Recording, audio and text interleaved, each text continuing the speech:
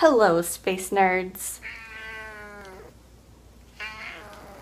So in astronomy, there's a lot of complex stuff that goes on, and a lot of things you have to remember, and names and stuff, and facts, and sometimes all of those facts and names get all jumbled up in my head, and it's hard to figure out which one goes to which thing, and oh no, I'm so confused now!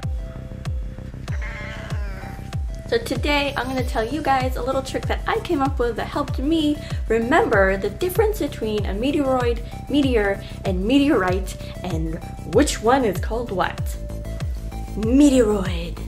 A meteoroid is a small metallic or rocky body that is in outer space that is significantly smaller than an asteroid.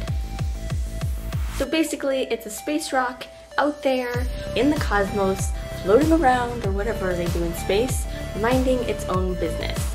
It kind of sounds like a music genre, like hard rock, soft rock, pop rock, space rock. Fun fact, if anyone plays music in space, like maybe Chris Hadfield's album, would that be considered space rock just because it's played in space, or would it have to do with the kind of music that's played? Meteor. A meteor is what is commonly known as a shooting or a falling star. It's those pretty things that we go out and look at falling through the sky, those streaking madness flaming stones that are really gorgeous. These are created when the space rock, meteoroid, is entering the Earth's atmosphere at an extremely fast rate due to our gravity, and due to the friction in the molecules in our Earth's atmosphere, it starts to get really, really hot and creates a glow, which is what we see in the sky, and it usually starts flaming and...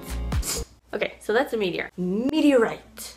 A meteorite is the remainder of an asteroid or meteoroid that has gone through the Earth's atmosphere and has made it past all the tests or the flaming experience of our atmosphere and it landed on the Earth or in the ocean or, you know, somewhere. Landed, basically. It landed those things that have hit our surface and we can hold and touch or find in dust or large rock. So those are the drastically big differences between three really similar sounding names. Now, here's the little trick that I use that helped me remember the difference between all of those and which one is called what.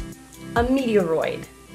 The name kind of rhymes with void, void, or space, or cosmos, or the great near vacuum of darkness.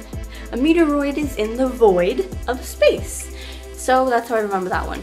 A meteor. I remember this one by using the phrase meteor showers. That one has actually a phrase to go with, so that was a little easier to remember. Meteor showers, meteor storms, stuff like that. That's helped me remember it. A meteorite.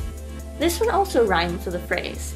Rhyming helps you remember things. Actually, it's scientifically proven that if you rhyme things together, it'll help you remember them. So, a meteorite lands right on the Earth, or right next to you, which would not be cool, but it rhymes. So, a meteoroid is in the void. A meteor is what brings you meteor showers. And a meteorite lands right on the Earth.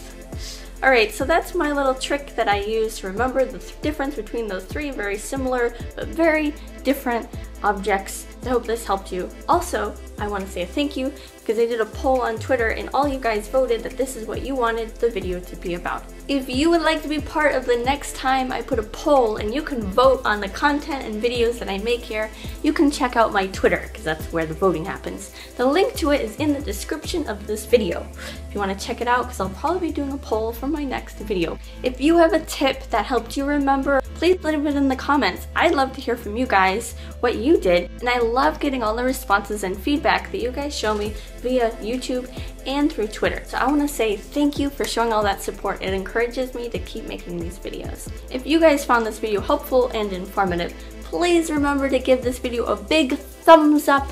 Alright, so that's it and over and out, Space Nerds.